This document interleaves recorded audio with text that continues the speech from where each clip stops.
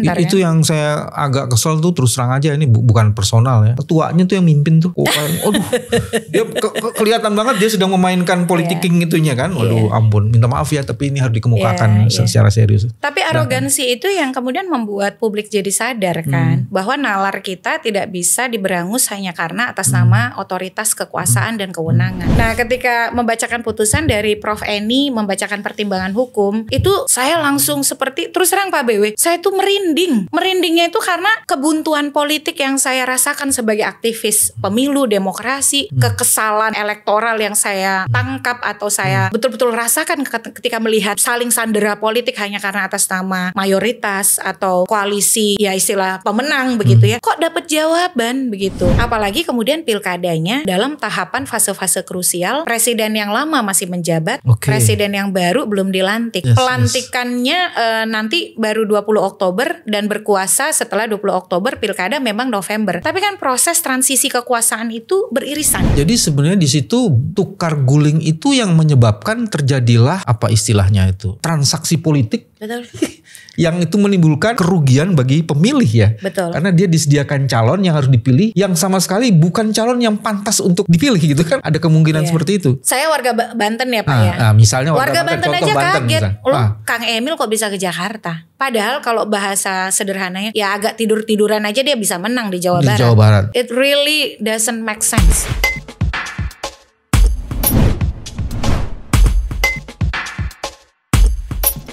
Bismillahirrahmanirrahim. Assalamualaikum warahmatullahi wabarakatuh. Teman-teman jumpa lagi di channel ini, channel yang ingin terus-menerus menjaga, meningkatkan dan memperluas kewarasan.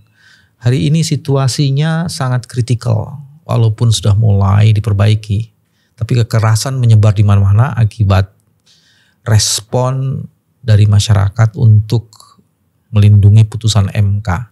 Hari ini diskusinya masih seputar putusan MK, tapi kita akan menukik lebih dalam lagi, lebih tajam lagi. Apa sesungguhnya akar penyebab dari seluruh kekisruhan yang muncul dari atau atas putusan MK yang kemudian dibuatkan PKPU-nya. Alhamdulillah bersama saya hari ini ada Mbak Titi Anggraini. Assalamualaikum bos.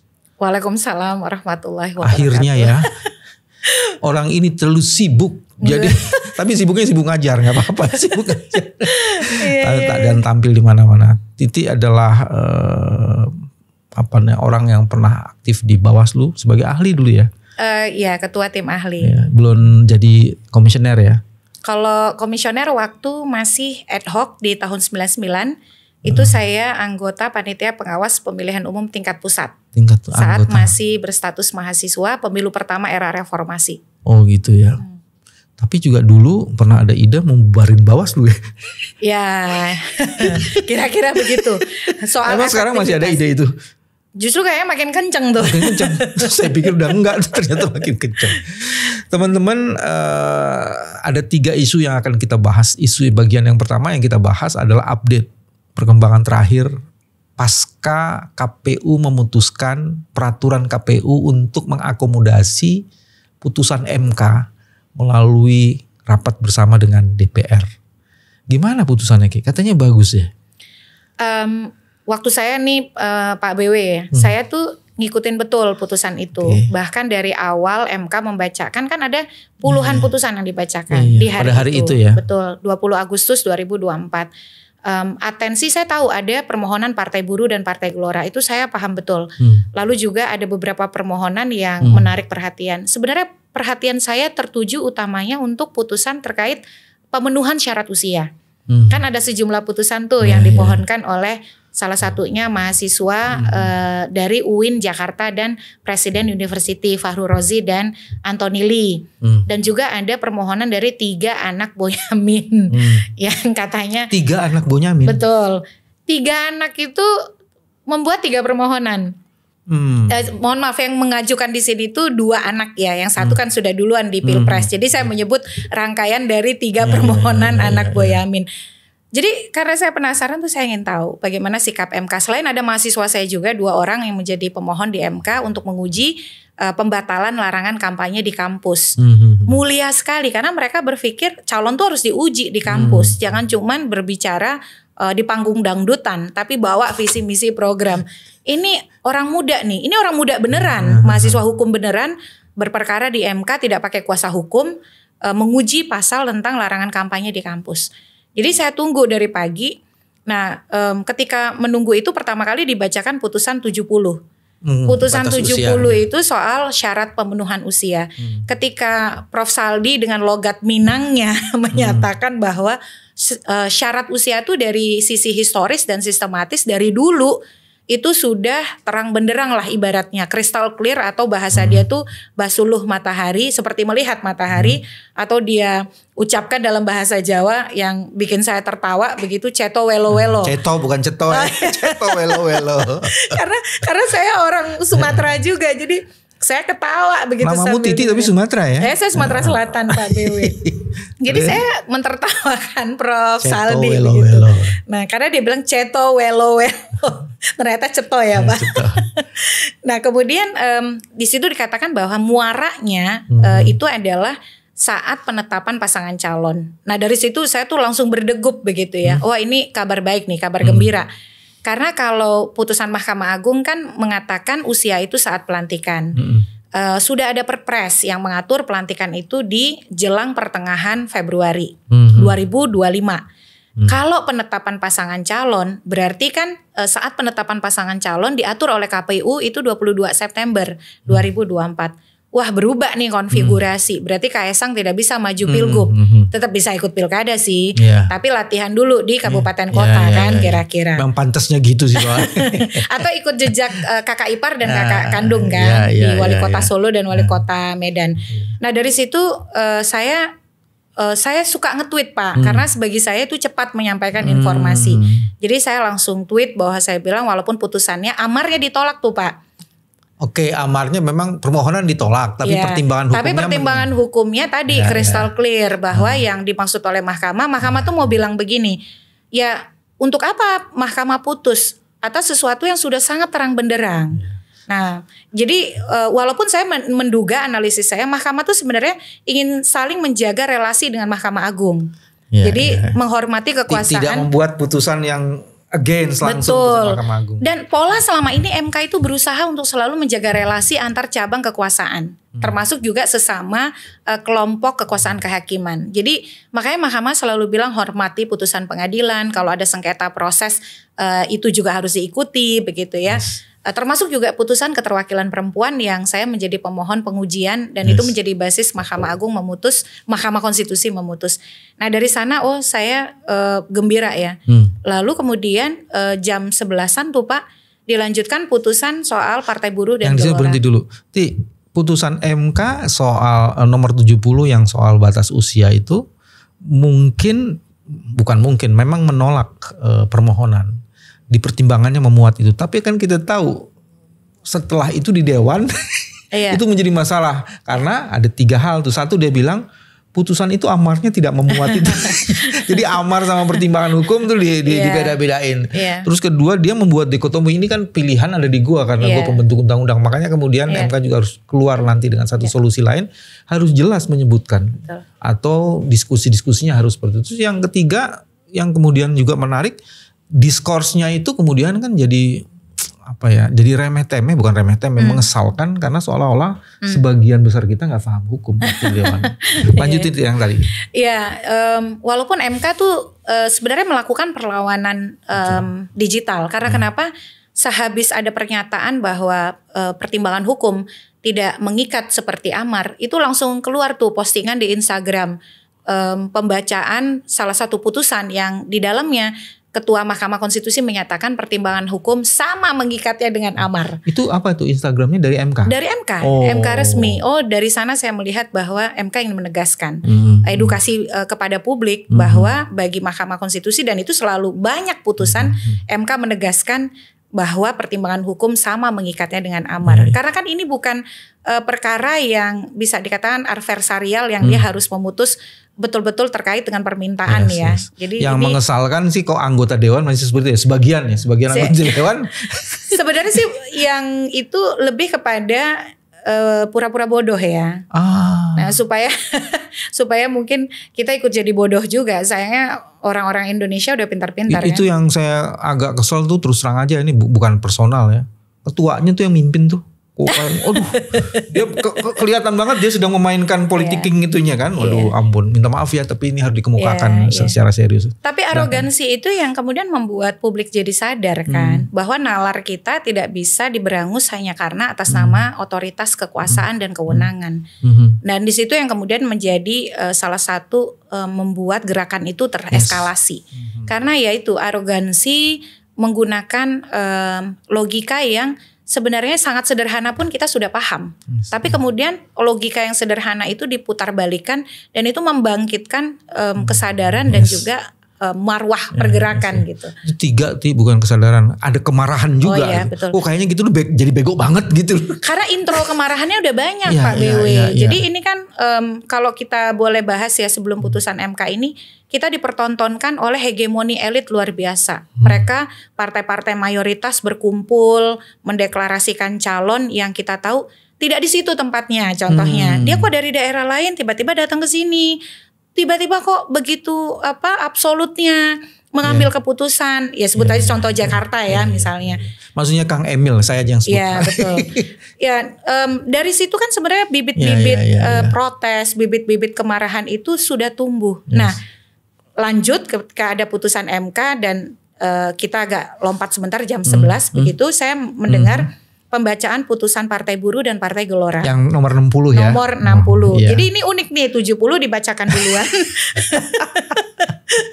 Jadi orang yang tidak terbiasa di Mahkamah Konstitusi jangan kaget. Di Mahkamah Konstitusi Tunggu itu dulu, uniknya di mana? Kalau 70 dibacain dulu kamu bilang unik. Iya kan nomornya belakangan, Oh, iya, iya, tapi iya. dibacakan duluan. Iya, iya. Jadi Biasanya jadi orang itu- kan urutan tuh, first come first serve gitu. Tapi ini MK membacakan putusan 70 dulu, baru keputusan 60. Hmm. Iya. Dari situ saja sebenarnya saya sudah punya firasat MK ingin memberikan kejutan Hmm. atau MK ingin em, menunda kegembiraan Oh, sedikit gitu ya. begitu ya. Nah, ketika membacakan putusan dari Prof Eni membacakan pertimbangan hukum, Hmm. itu saya langsung seperti terus terang Pak BW, saya tuh merinding. Hmm. Merindingnya itu karena kebuntuan politik yang saya rasakan sebagai aktivis pemilu demokrasi, Hmm. kekesalan eh, elektoral yang saya tangkap atau saya apa ya eh, betul-betul rasakan ket- ketika melihat em, saling sandera politik hanya karena atas nama mayoritas atau eh, koalisi eh, ya istilah eh, pemenang begitu ya. Kok dapat jawaban begitu? Hmm. Karena ketika Prof Eni menyatakan dia mulai dengan logika bahwa pencalonan tuh ada dua jalur Pak. Satu jalur perseorangan, satu jalur partai. Oke. Kalau jalur perseorangan kan harus dapat dukungan tuh antara enam setengah sampai 10 persen. Ya. Tergantung dari berapa jumlah DPT di suatu daerah. Nah dukungan itu kan dari siapa? Dari pemilih kan Pak. Oke. Nah berarti dengan logika yang sama partai Harusnya oke. juga harus mengumpulkan dukungan, Dukungan. yang konkret dari pemilih. Dukungan yang konkret dari pemilih untuk partai itu apa? Perolehan suara kan Hmm. di DPRD karena ini pilkada. Dari situ saya sudah yakin, wah eureka nih. Hmm. Ini pasti Eureka. breakthrough nih. Ini pasti terobosan. Betul begitu ketika sampai sebelum konklusi MK mengatakan bahwa bagi daerah yang jumlah DPT-nya dari pemilu terakhir antara sekian sampai sekian, maka persentase syarat perolehan suara sebagai prasyarat untuk mendukung calon dari jalur partai disamakan dengan persentase dukungan jalur perseorangan. Di situ terus terang saya merasa kuasa Tuhan yang pasti ya. Hmm. Karena kan kalau Tuhan tidak berkehendak eh, ini luar biasa. Dan yang kedua saya merasa Mahkamah Konstitusi itu betul-betul menegakkan living constitution. Jadi konstitusi yang hidup, yang melihat hukum dan masyarakat. Hmm. Bagaimana dia berusaha mengatasi kebuntuan ketatanegaraan. Wah, dengan logika yang argumentatif. Kan masuk akal dong, Pak. Hmm, Kalau iya. jalur perseorangan syarat dukungan dari pemilih 6,5 sampai 10, Yes. maka partai politik harus mengumpulkan juga perolehan suara dari pemilih 6,5 sampai 10 persen. Jadi saya langsung kabarkan tuh Pak ke eh, Twitter. Hmm. Tapi saya eh, berpikir ke X ya, eh, platform media sosial X. Tapi saya juga berpikir ilustrasi apa sih yang bikin mudah begitu ya supaya masyarakat ini nangkap. Hmm. bahwa kebuntuan politik lalu blocking politik yang kita saksikan dominasi uh, mayoritas yang juga kita tonton sehari-hari dalam deklarasi-deklarasi partai itu ternyata ada solusi nih hmm. dari Mahkamah Konstitusi solusi ketatanegaraan. Okay. Jadi saya nge-tweet tuh Pak langsung dengan ambil contoh contoh di DKI Jakarta. Jadi ada rekonstruksi persyaratan uh, untuk mendaftarkan calon dari partai okay. uh, menjadi enam setengah sampai 10 persen. Uh, ilustrasinya adalah dengan syarat baru ini Jakarta PDIP bisa mendaftarkan sendiri pasangan calon. Tapi sebenarnya kan bukan hanya PDIP ya. Oh iya dong. Ada, ada berapa aja tuh uh, di, di kalau Jakarta kalau pakai Jakarta. Kalau Jakarta tuh bisa sampai 8 lebih Pak partai. 8 partai. Betul. Siapa aja sih sebut sebut? 5 partai nomor urut pertama tuh bisa semua. PKB, PKB, Gerindra, Gerindra, PDIP, PDIP, Partai Golkar, Partai Golkar, Partai Nasdem, Partai Nasdem, Partai PKS, Partai Demokrat, Partai Amanat Nasional. Jadi 8 partai bisa mengusulkan gubernur sendiri Betul. di DKI Jakarta tanpa harus berkoalisi. Karena perolehan suaranya di DPRD yang lalu pemilu hmm. DPRD 2024 lebih dari tujuh setengah persen. Hmm, hmm, hmm.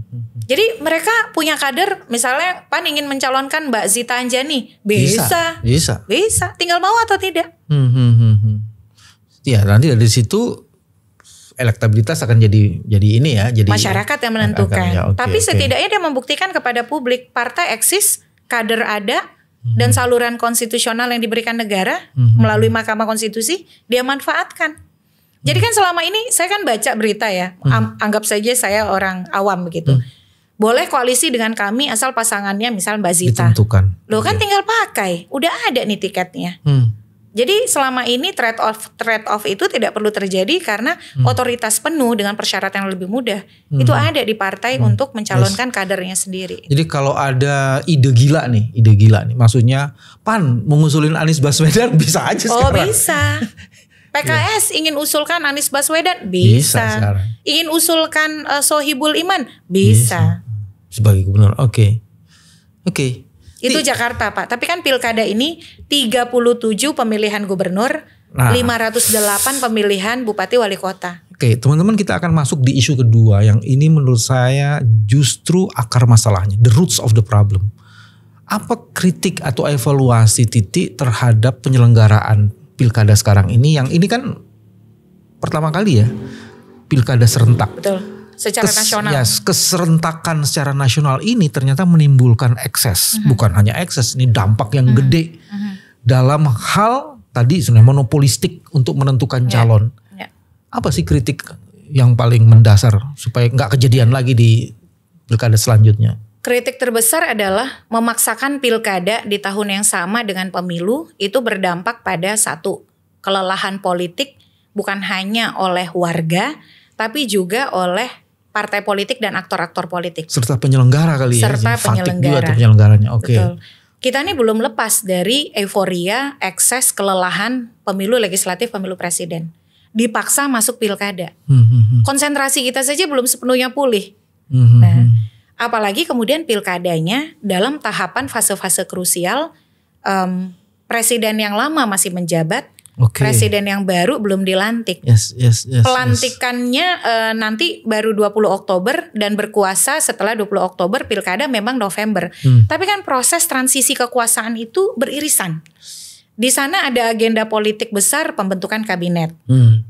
Nah, belum lagi kemudian karakter uh, presidensialisme kita jadi ada teori Pak yang namanya tuh coalitional presidentialism. Hmm. Di dalam presidensialisme ada kecenderungan untuk membentuk koalisi pendukung pemerintah. Okay. Apalagi di Indonesia banyak pendapat yang mengatakan karakteristik presiden di Indonesia itu sering senang membentuk koalisi bersama-sama bergotong royong, hmm. mengajak, merangkul, tidak meninggalkan. Hmm.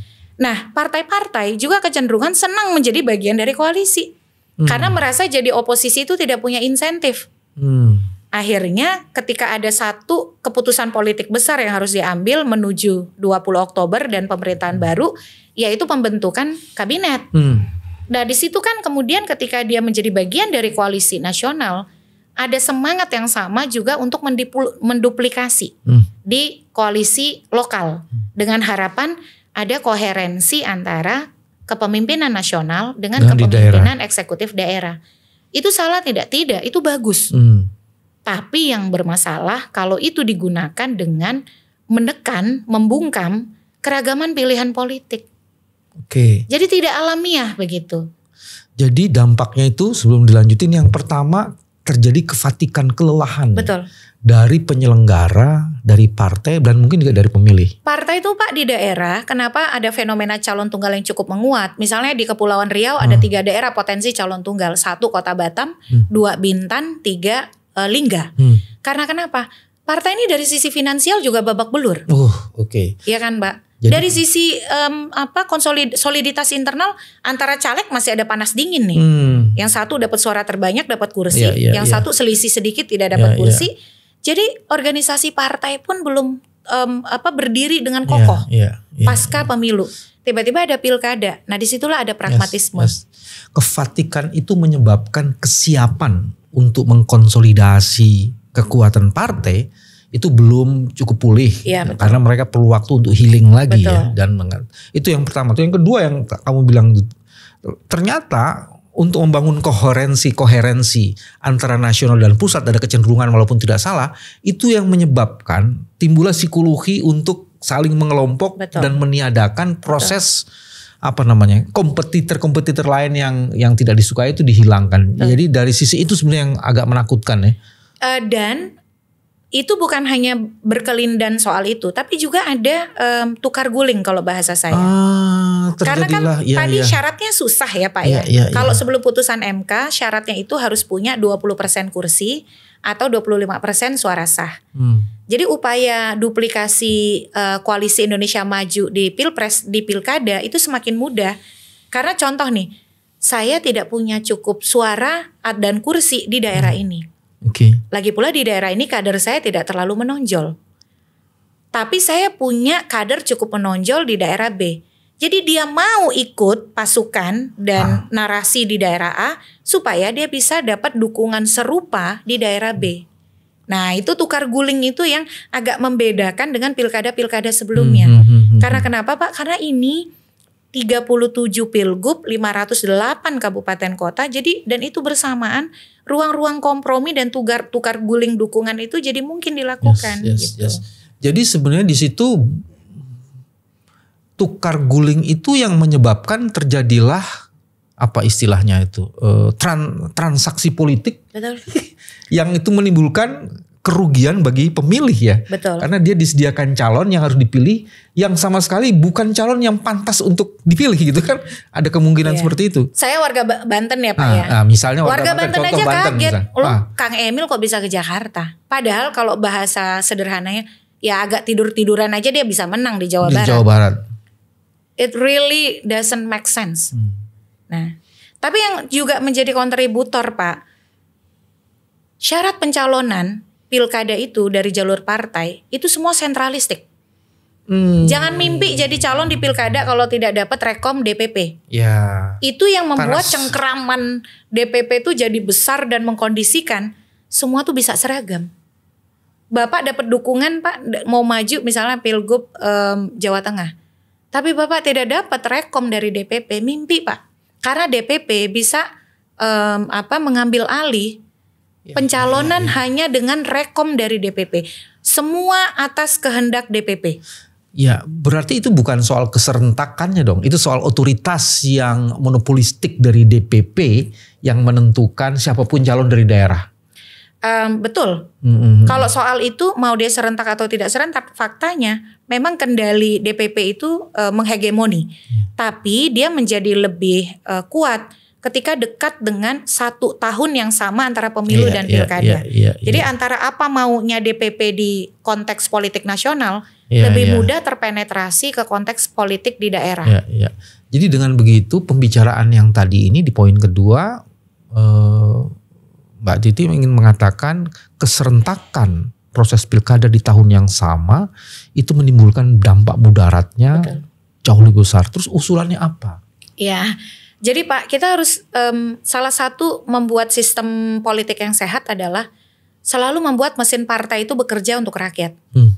Peduli mau mendengar suara rakyat. Jadi kalau bahasa kami itu carrot and stick Hmm. atau memberikan insentif dan disinsentif. Hmm. supaya mesin partai panas terus. Hmm. Nah kalau sekarang Pak, pemilu pilkada di tahun yang sama, kan baru lima tahun lagi tuh Pak. Hmm. Kita nonton aja nih Pak sampai lima tahun Ah, lagi. Oke. Oke. Nah, oleh karena oke. itu makanya di banyak negara dengan sistem presidensil dia eh, salah satu kalau Juan Lins itu bilang kelemahan sistem presidensil tuh Pak rigidity. Masa jabatan kan rigid ya lima tahun. Ya udah kalau kita dapat orang jelek ya kita Hmm, ya. nunggu Sabarlah aja. lima tahun itu. Sabar lima tahun sambil ya bikin gerakan lain sebagainya. Oleh karena itu mereka melakukan beberapa electoral engineering. Salah Hmm. satunya dengan membuat desain pemilu serentak yang dipisahkan antara nasional dan daerah. Hmm. Nah, atau ba- apa? Misal contoh nih, em, di Amerika Serikat itu kan pemilunya selalu dibagi dua ya. Mhm. Nah, supaya memberikan insentif kepada pemilih, kalau dia nggak suka dengan partai em, apa presiden atau partai eh, penguasa yang dia dukung dan ada perubahan sikap terhadap konstituen, ada evaluasi, tidak harus menunggu akhir masa jabatan terhadap partai pengusung si presiden. Di Indonesia juga mestinya begitu. Ini 2024 nih Pak, semua diborong di 2024. Kita bisa mengevaluasi lagi. Evaluasi yang paling em, memberikan efek kepada partai adalah tidak memilih mereka di pemilu. Hmm. Dan itu baru 2029, Pak. Makanya usulan kami pemilu serentak tuh dibagi dua, pemilu serentak nasional memilih DPR, DPD, presiden, lalu dua tahun atau dua setengah tahun setelahnya memilih kepala daerah dan DPRD. Jadi misal contoh sekarang 2024, kalau 2026 Pak ada pemilu lagi walaupun di tingkat lokal, tapi kan partai mikir kalau kita sakit hati sama perilaku mereka, Ya. ya kita bisa menghukum mereka, Oke, tidak oke. harus menunggu lima tahun. Mhm. Kan apalagi tahapan pemilu di Indonesia tuh satu tahun kan Mbak, Hmm. 20 bulan. Hmm. Atau kalau di pilkada contoh dua- 2026 dia bikin ulah di pilkada. Kita lah bisa masih ingat di dalam hati dan pikiran kita 2029 saya akan hukum kamu karena kamu meninggalkan suara saya. Yes. Jadi salah satu kualitas demokrasi bisa ditingkatkan dengan usulan yang tadi. Janganlah membuat pemilu pemilihan presiden misalnya di tingkat nasional dan di tingkat daerah pemilihan kepala daerah itu dalam satu tahun yang bersama. Kalau itu bisa diatur tahunnya di pertengahan tahun dari pasal lima tahun, maka kualitas demokrasi bisa meningkat dengan baik. Karena ada insentif dan disinsentif. Yang selebihnya adalah kualitas dari mesin partai itu akan bekerja terus menerus.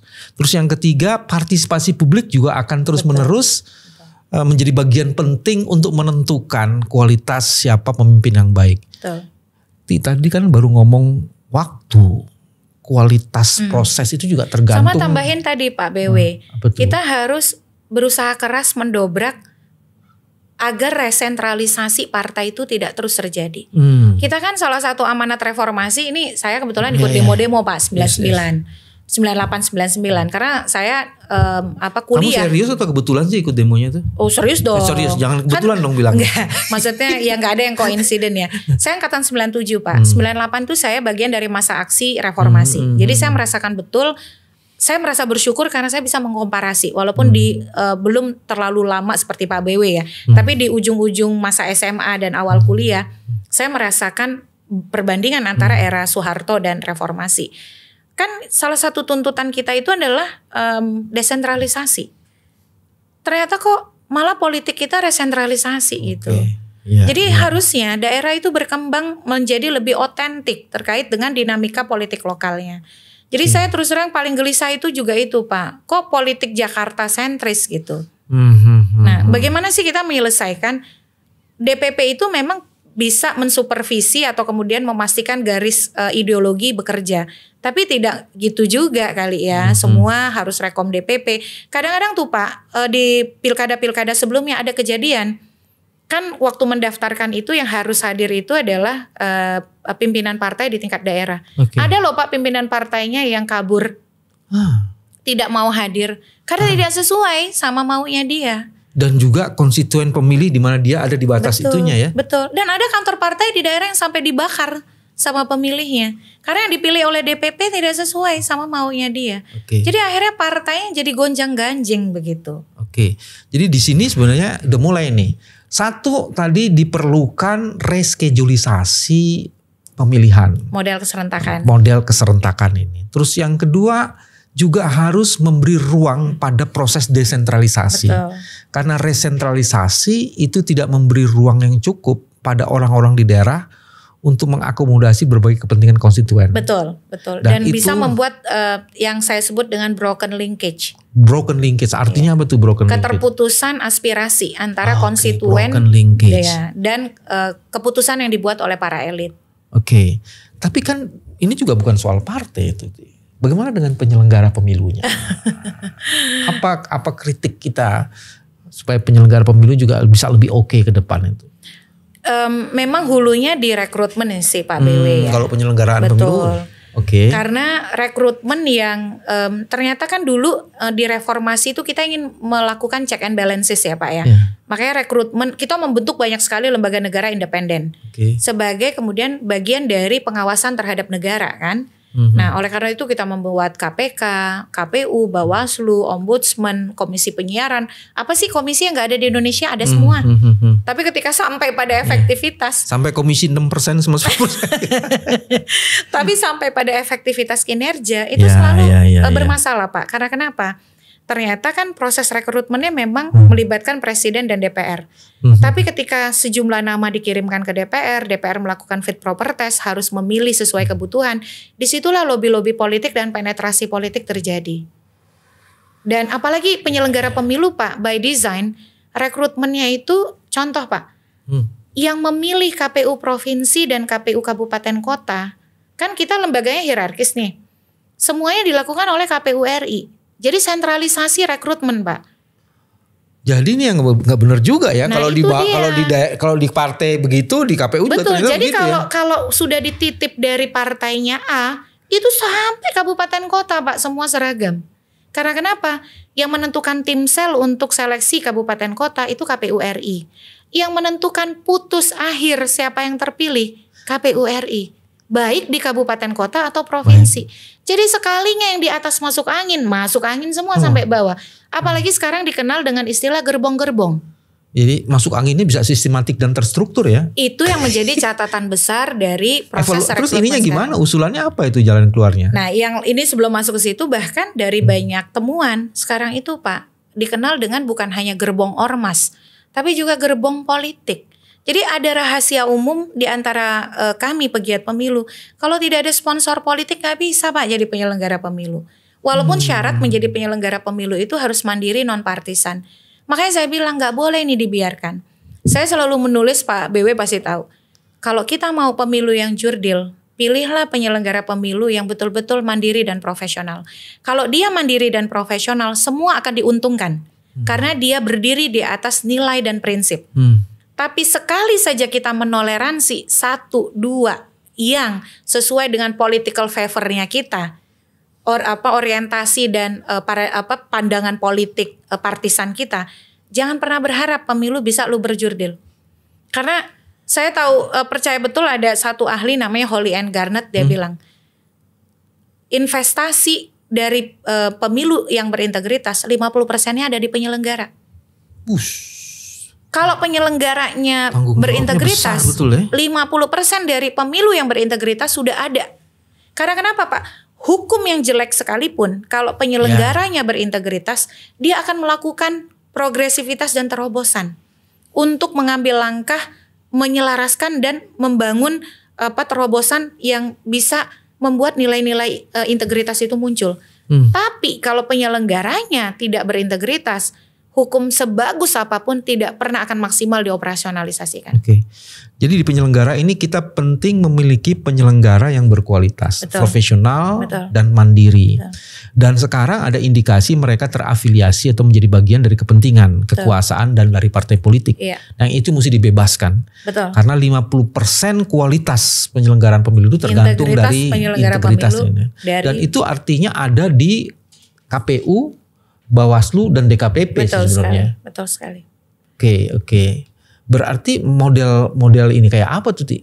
Nah, ini Model memang ya kita kita tuh mestinya Pak, kita nggak bicara ini lagi ya, Hmm. karena ini kan udah pemilu kelima Betul. setelah KPU mandiri pasca amandemen konstitusi 2022, Hmm. di mana disebutkan KPU eh, pemilu dilaksanakan oleh suatu komisi pemilihan umum yang bersifat nasional tetap dan mandiri. Hmm.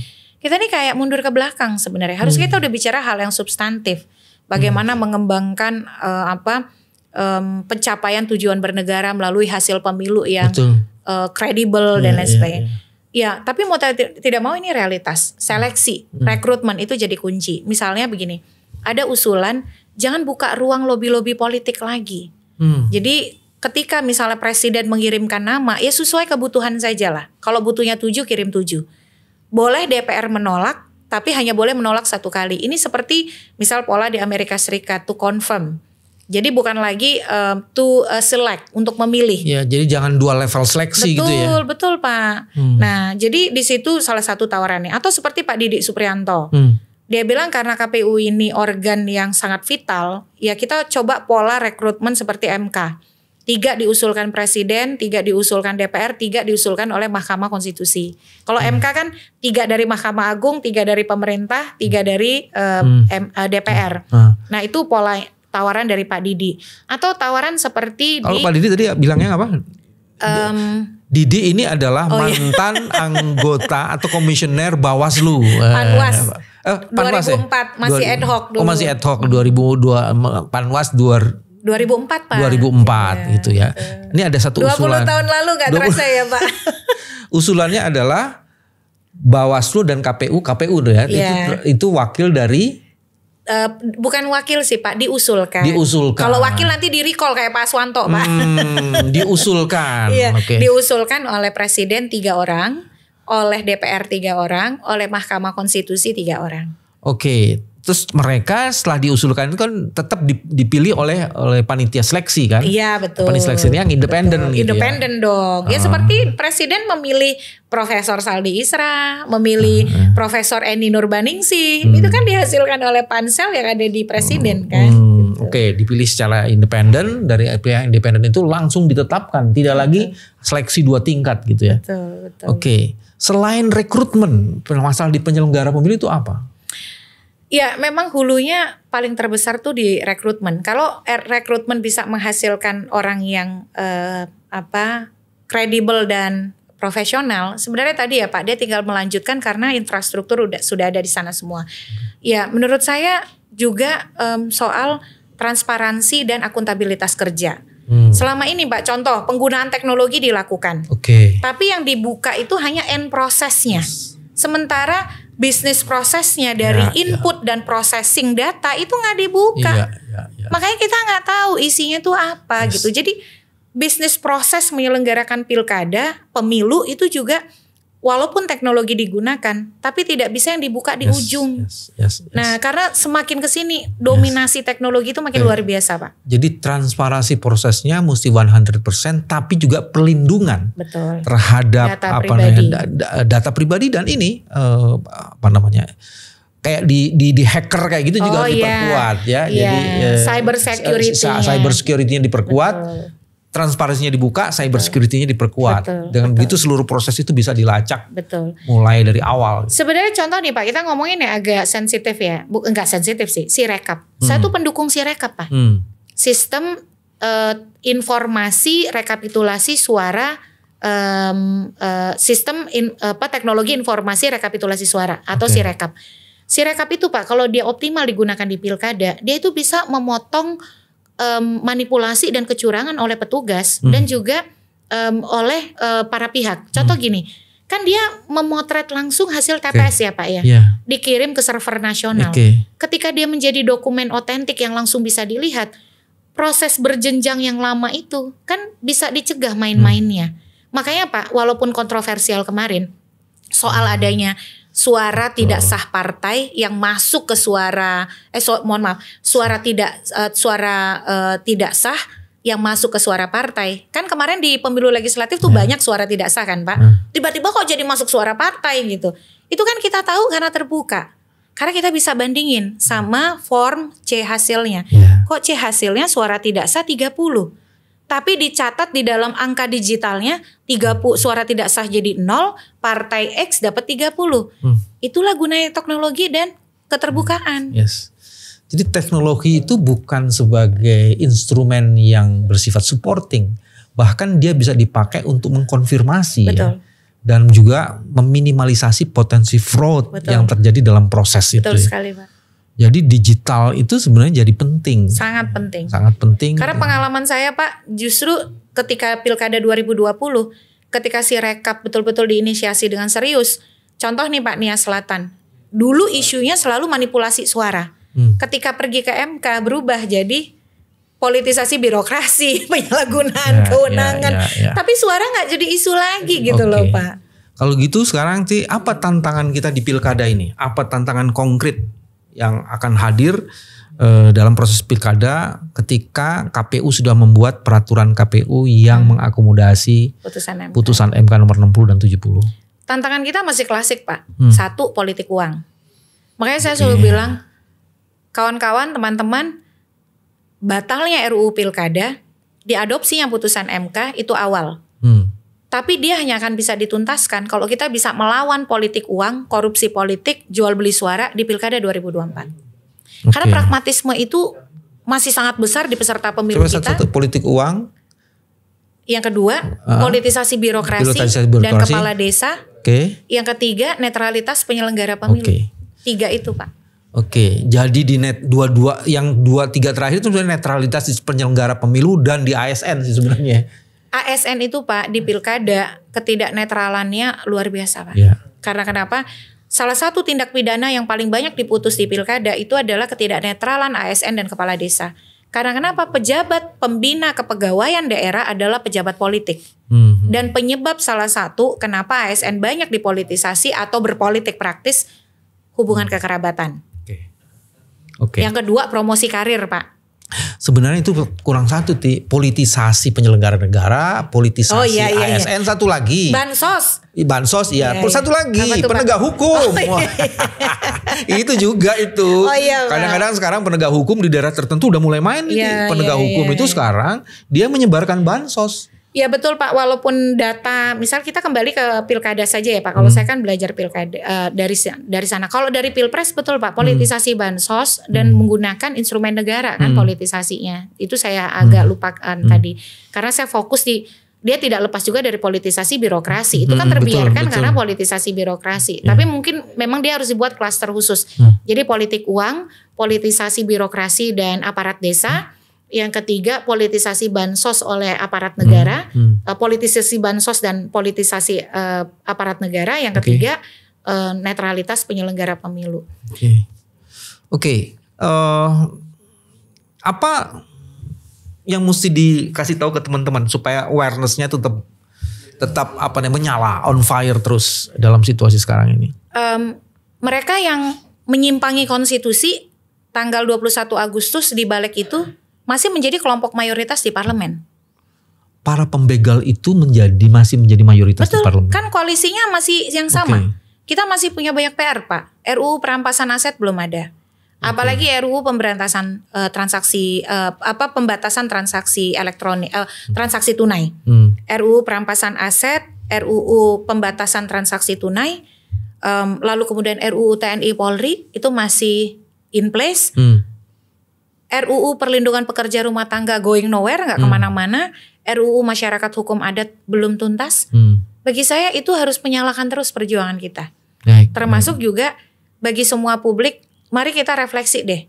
Sekali kita salah pilih wakil, Mhm. yang kita akan dapatkan ya mungkin orang-orang yang seperti yang ada di balik kemarin. Itu saya sangat berefleksi sekali Pak, walaupun beberapa teman saya. Oke, oke, Oleh karena oke, itu oke. makanya pilkada jangan biarkan kita salah pilih. Oke. Teman-teman, pilkada ini ada di seluruh Indonesia. Lebih di 500 pemerintahan daerah. Tepatnya sih kalau nggak salah 545. ya. 37 pilkada gubernur, 508 pilkada kabupaten kota. 308. Eh, Ti- 508. 508 tambah 37. Iya, 5 545 Pak. 545. Eh, 8 tambah 7. Iya, Betul 545. 45. Jadi ada di 545 pemerintahan daerah. Siapa pun yang gagal melakukan proses ini, maka kita akan mengalami problem di 545 kepala daerah, eh, pemerintahan daerah. Makanya kita harus tetap memastikan on fire untuk memastikan proses penyelenggaraan pemilu ini berla- berla- berlangsung dengan cukup baik. Inilah cara kami menjaga kewarasan dan Titi Anggreni adalah bagian dari penjuru kewarasan itu. Terima kasih sampai ketemu lagi. Assalamualaikum warahmatullahi wabarakatuh. Waalaikumsalam.